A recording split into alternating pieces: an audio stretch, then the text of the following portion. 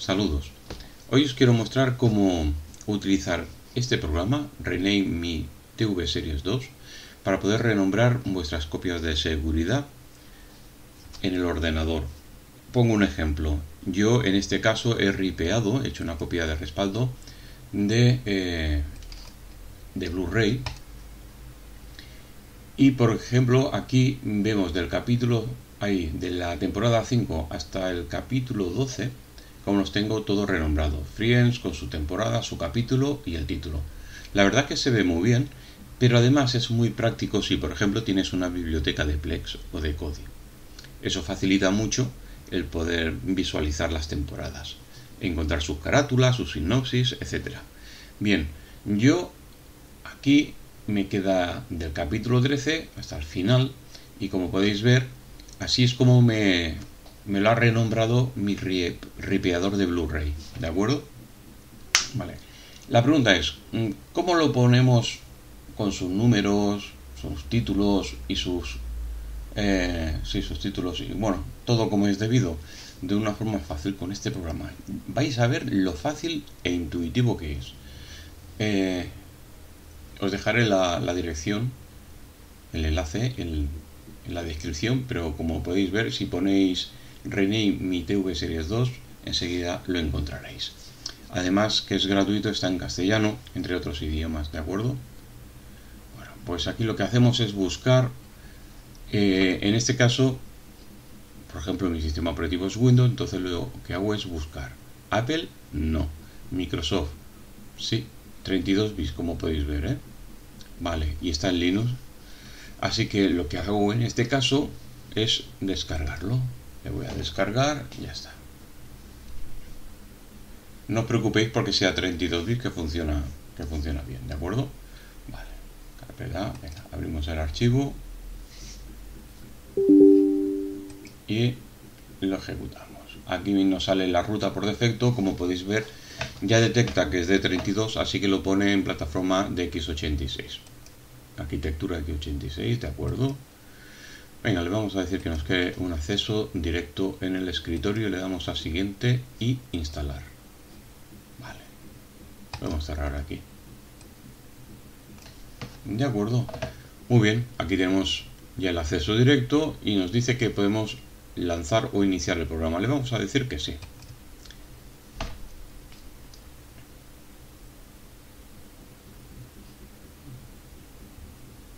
A ver. Ahora. De acuerdo. Pues aquí lo tenemos. Lo primero que tenemos que hacer es eh, ponerlo en nuestro idioma, ¿de acuerdo? Así que bajamos, en este caso, español.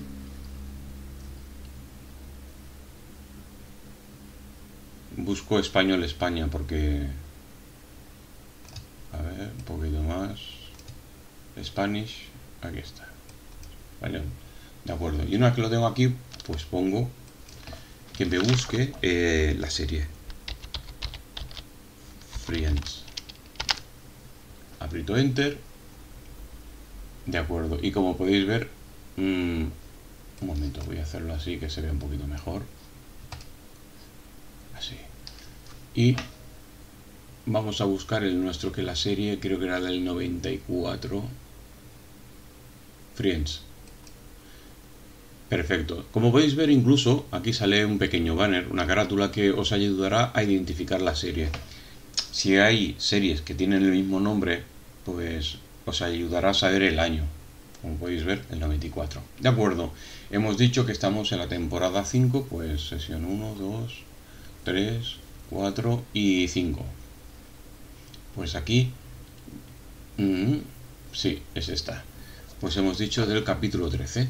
Claro, en este caso, porque yo tengo solo la mitad, pero si fuera el vuestro, sencillamente apretáis de aquí hasta aquí. ¿De acuerdo? Con el botón eh, mayúsculas apretado, no el de bloqueo de mayúsculas, ¿eh? el de mayúsculas. ¿De acuerdo? Pero no es mi caso, así que le doy aquí al 13 hasta el 24 y le doy añadir episodios. Vale.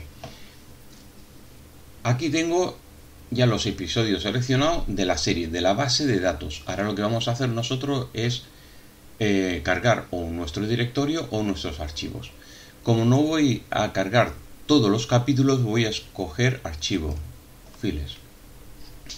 Así que me voy a pelis, Friends, temporada 5, y aquí lo mismo, hasta el capítulo, perfecto. Aquí, y mantengo apretada las mayúsculas, selecciono y abro. Aquí está. Pues como podéis ver, ya se han puesto. Vale. ¿Y qué hacemos ahora? Pues fijaos, tan simple, tan fácil como apretar Rename File, es decir, renombramos. Nos pregunta, ¿seguro que quieres renombrarlo? Sí, le damos así para continuar. ¡Pum! Ya lo tenemos. Y aquí, como podéis ver, ha cambiado. Ya lo tenemos. Friends del capítulo 13. Bueno, el bolso de Joy, en el que todos se enteran, el de la chica que pega Joy. Ya está, ya lo ha renombrado. ¿Y qué he tardado? Eh, porque lo he tenido que instalar, pero una vez que está instalado, como podéis comprobar, es súper fácil, intuitivo para poderlo usar. El programa continúa estando en inglés, ¿de acuerdo? Pero Mm, al menos la base de datos podemos cogerla en nuestro idioma, escogerla en nuestro idioma. Y eso facilita mucho. Ya digo, a lo mejor tenéis, mm, vamos a ser honestos, tenéis una serie en DVD y os da hasta pereza de ripearlo y la descargáis por internet. Porque tenéis, pues ya está, la bajáis y muchas veces esas series ya vienen con el nombre pues de la página web que la habéis descargado, etcétera, etcétera pues vosotros cogéis, añadir los archivos aquí, que por cierto también podéis hacer arrastrar y soltar, y boom, sencillamente renombramos y ya lo tenéis.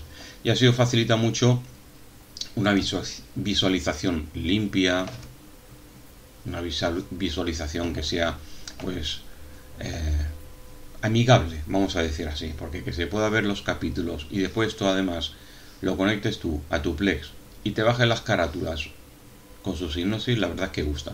Queda muy bien, queda una presentación limpia y coqueta. Pues nada, compañeros, esto sería todo. Como siempre os digo, que os vaya muy bonito.